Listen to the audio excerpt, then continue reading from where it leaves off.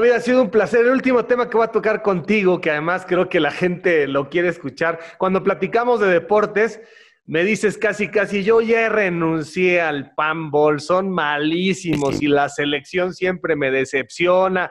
Ya renunciaste al fútbol soccer. ¿Qué crees? ¿Qué crees que pasa con el fútbol mexicano y la selección? Yo creo que con el fútbol mexicano hay un problema estructural en el deporte.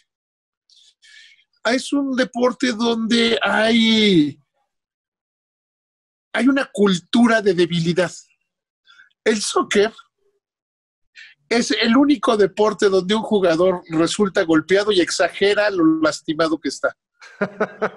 A un, jugador, a un jugador de básquetbol le das un golpe y se para inmediatamente.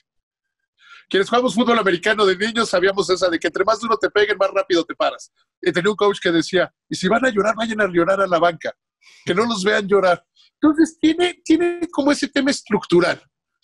El otro día veía con, con horror que está el campeonato este de e-soccer, que un jugador dijo que se le habían lastimado los dedos por jugar Xbox. o sea, dices, a ver, o sea, tú, a ver, un deporte que es tranquilo, un deporte que es muy... El béisbol. Si tuviera la mentalidad de un jugador de soccer, especialmente, ah, no, no únicamente, especialmente de los mexicanos, y le dieran un bolazo, sería seis meses.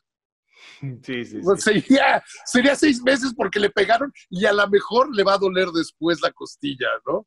Entonces yo creo que tenemos ese problema que en el, que en el soccer, particularmente el mexicano, que es el que más vemos, hay todo un elogio a la debilidad. Me gusta más el soccer de mujeres, por ejemplo.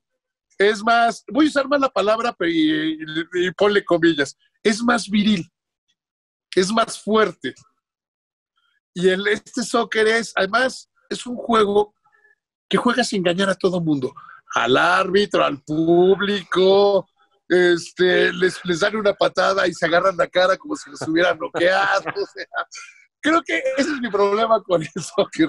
Así que camaradas, por favor, no dejen de seguirme a través de todas mis redes, de suscribirse a mi canal, dale a la campanita, dale like. No te olvides de dejarme tus comentarios, yo mismo estaré respondiendo. Cambio y fuera, camaradas.